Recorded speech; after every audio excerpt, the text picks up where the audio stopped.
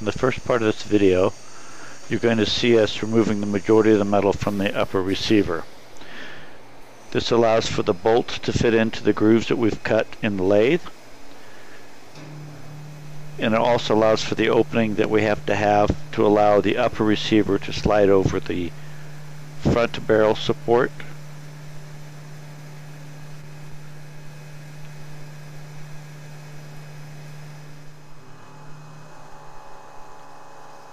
We've now completed this first series of cuts that we're doing on the upper receiver.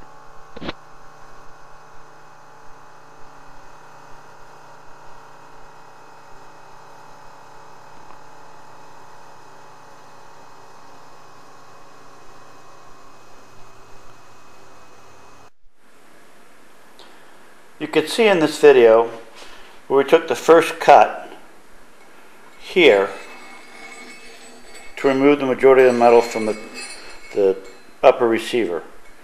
In the second cut, the cut that we're making here is actually the portion of the receiver that sets over the front barrel extension when you go to put it into the receiver. It widens out that portion of the receiver just a slight amount.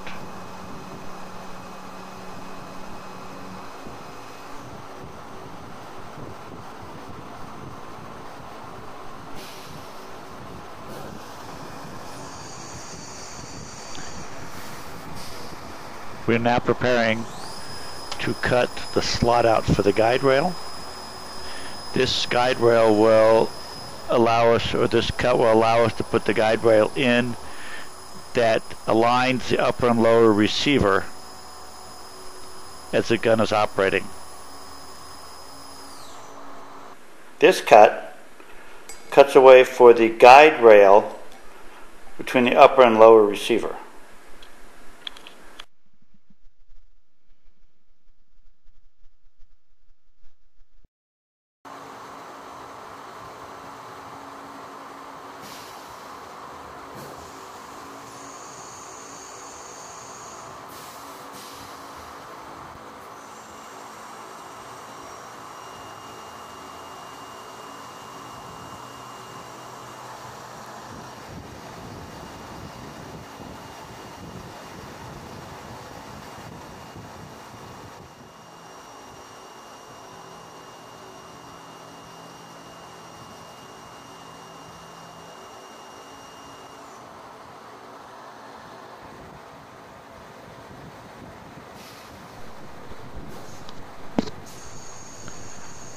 What you're seeing now is the hole being drilled for the front sight. On the bottom of the receiver it's a larger hole and the front sight will come in on top. This larger hole allows us to rivet the front sight in place on the uh, receiver. For, for this we'd have no access to the now we're drilling the hole, the smaller hole where the front sight actually comes through. We'll be drilling it from the back side of the receiver through the initial hole and then to the top of the receiver.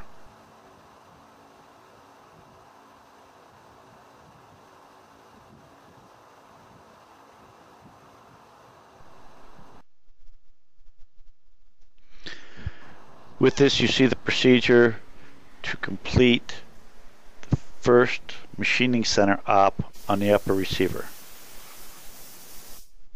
Hope you enjoyed this video.